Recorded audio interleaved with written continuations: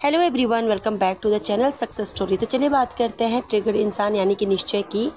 पसंद के बारे में, जैसे कि आप सब लोगों को पता है कि निश्चय ने अपनी एक स्टोरी टाइम पे बताया था कि उनको, उनके स्कूल में एक काजू कतली थी जो कि उनको काफ़ी ज़्यादा पसंद थी। लेकिन बार बार उनको उसके बाद कमेंट आने लगे कि वो क्या वो आज भी काजू कतली को पसंद करते हैं, काजू कतली को पसंद करते हैं। जिसके ऊपर निश्चय ने एक वीडियो बनाई थी और कब बोला कि उनको काजू कतली नहीं, उनको रस मलाई पसंद है। और अब उनको काजू कतली जो है, उसकी शादी हो चुकी है, उसके बच्चे भी हैं, लेकिन अभी उनको रस मलाई पसंद है।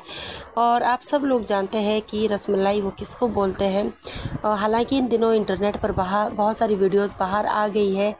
जिसमें आंटी ने भी अभी रिसेंटली एक वीडियो बनाया था, जिसमें आंटी ने बोला था कि अभी उनको काजू कतली का नाम सुन सुन के वो बोर हो चुके हैं, जो भी लड़की हो उसको काजू कतली पसंद ना हो, लेकिन उसको रसमलाई पसंद हो। तो कहीं ना कहीं ड्रिगर इंसान और उनकी फैमिली वाले अभी ये चीज़ों को चाहते हैं कि डिस्क्लोज़ करें कि काजू कतली उनकी पसंद नहीं है। उनकी पसंद रसमलाई यानी कि रुचिका राठौड़ है। आपका क्या कहना है इस बारे में कमेंट ज़रूर बताना। तो चलिए मिलते हैं नेक्स्ट वीडियो में, तब तक के लिए बाय